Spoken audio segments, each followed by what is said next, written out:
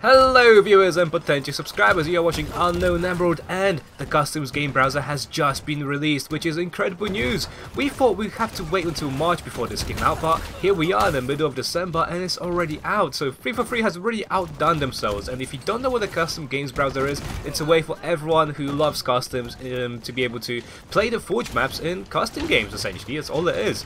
So if you want to host your own custom games, all you have to do is go to the custom game over here you go to map, choose a map, whatever it is. So I've got, for example, my bookmarks, I've got my files, so I can choose a map that I have bookmarked, and then of course you just pick the game type, and you want to make sure that your privacy is on open, because if, if it's on friends or private, then people will not be able to join. So to set your privacy on open, all you have to do is go to your fire team, and on the menu section, click on that, and here you can change your privacy. So at the moment I'm on friends only, you want to make sure that this is open. There we go. And if you want to join other people's custom games, all you have to do is go to the community tab, so just between the customize and shop, and you have the customs games browser over here. So you click on that, and you've got a list of all the custom games that are happening right now. So for example over here I've just been playing Oreo District on Husky Raid, so that's one of the ones you can play right now and we've got one page, we've got a lockout over here, we've got Parkour Evolved, whatever that is, and we've got a Minecraft village, so let's go ahead and enjoy that real quick. Let's see what this is like.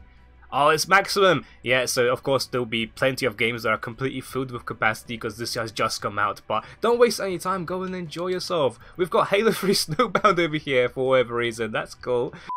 So like I just said, make sure to go out there and explore the Customs game browser now that it's available for us. Once again, thank you to 343 for giving this to us so early on. This is going to be a huge help for the Halo community and people who really enjoy customs and making forge maps. So thank you, thank you. Go out there, enjoy yourself, and I will see you guys next time. So see you